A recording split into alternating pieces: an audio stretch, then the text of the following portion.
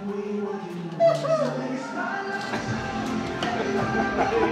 him flinch? I did go to flinch, didn't I? I love We've, we've come to arrest you. Sorry, sorry, sorry. This is what happens when Jeremy's running behind. Officer, arrest this man right now for being late. Weekend, second to last weekend. I'm so excited. I'm not excited for that. Just, it's been a good weekend, and I feel good. I don't feel exhausted. But your mustache looks nice. Thank you, sir.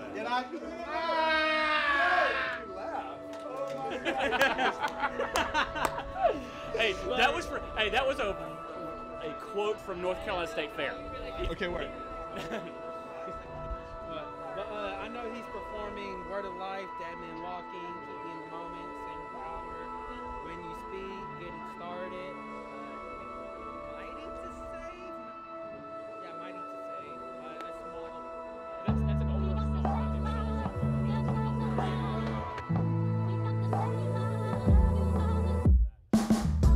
keeping you out of my mind until I see you. It reminds me of all of the times you would melt down. Back then, I didn't know why. Now I'm in the same place. This time it's different. What's been the biggest stressor of today in the production world?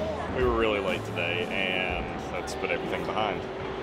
And now doors are open, and we're still building things.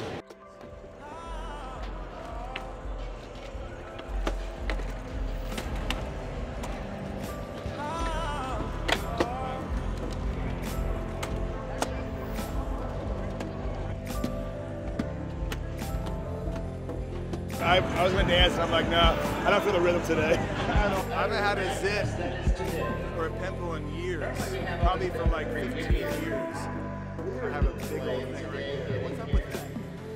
So, then we all got here and realized there was a dog show. I tried so popping we just it. went to the dog show. So we'll set Worst up thing there. ever.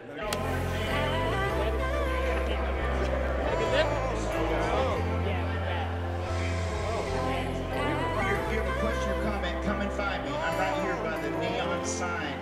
self-advertising sign of DJ G Baby, all right? My question is, how do you guys keep God in the center and first in your lives when you guys have all this crazy stuff and ba- people basically see you as Christian celebrities? Yeah, I mean, there's there's a multiple things, but one of the things for sure is staying in God's Word, um, because I love that God's Word doesn't return void, and so when you read it, it actually is living and active in your soul. And so I think for me, there's a plumb line of God's Word that, that is so key in everyone's life, and so that helps. I have really, really good. That was Jeremy Cantor. It's not what I intend. So could you